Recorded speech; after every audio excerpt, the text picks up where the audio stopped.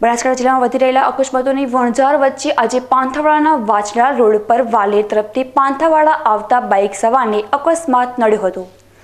જોકે આ અકસ્માત પાંથાવાડા ધાનેરા રોડ પર આવેલ ટોલ નાકા નજીક થયો હતો. અકસ્માતને પગલે એકસો આઠની ટીમ ઘટના સ્થળે પહોંચી હતી અને એકસો આઠ દ્વારા ઇજાગ્રસ્ત યુવકને પાંથાવાડા રેફરલ હોસ્પિટલ ખાતે સારવાર અર્થે ખસેડવામાં આવ્યો હતો.